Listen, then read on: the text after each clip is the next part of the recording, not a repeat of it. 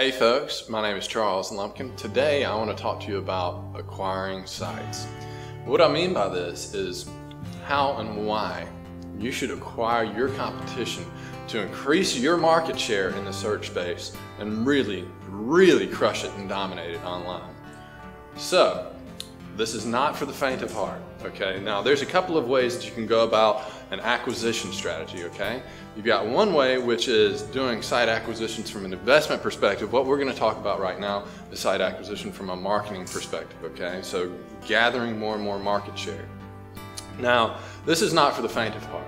You need to have been in paid search, run your test, gone into SEO and you're dominating it there, and now you just want more. This is an, an extremely effective technique at this. Now, hopefully, over the course of however long you've been running your business, you've also been running tests on conversion, your shopping cart or your lead funnel process or whatever it is that your conversion is better than your competition.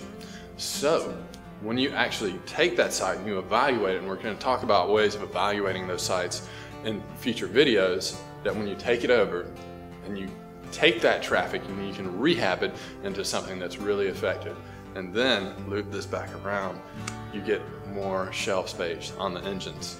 So think about this as a technique. Stay tuned. We got some interesting stuff coming ahead.